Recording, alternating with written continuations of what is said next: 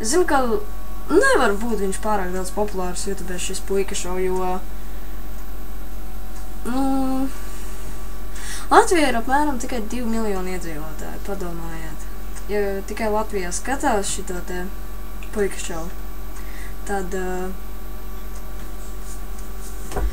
tad jau droši vien nebūs vairāk kā 100 tūkstoši skatītāju manos videos. Ah, un kā jūs redzējāt, es tik tikko uztaisīju jaunu intro. Un cerams, ka jums patika.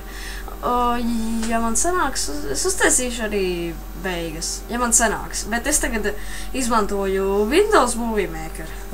Windows. Kāpēc man vies...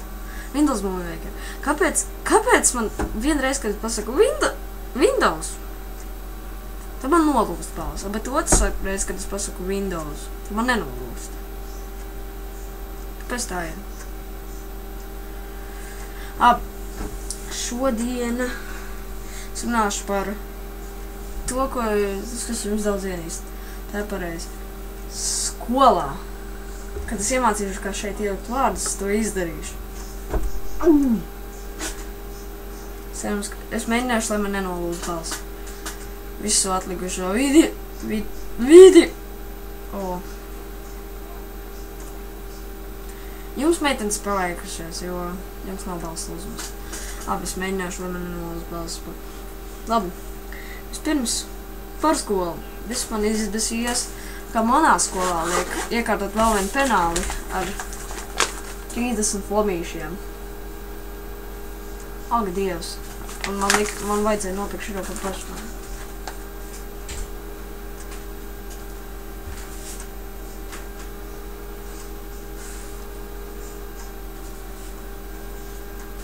Labāk aiztaisīšu durvis. Pagaidiet.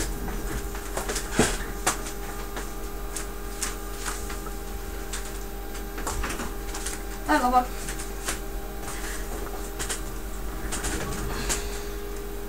Abi. Tagad skola. Un vēl kas ir manā skolā. Hm. Es lūdzu, lūdzu nokomentēt, kam ir šāda sociāla zinība būtnīca.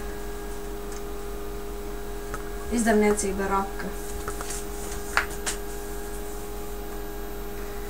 Labi.